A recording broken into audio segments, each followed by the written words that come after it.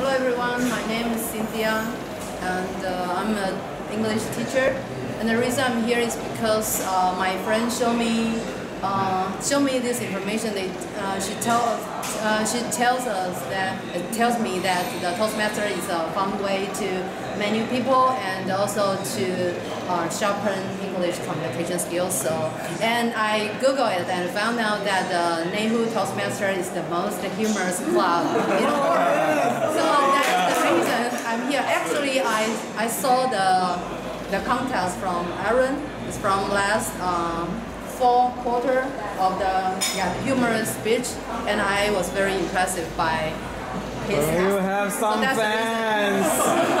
I'm here, and uh, after listening to uh, the two uh, speakers, I, I learned a lot. Thank you so much.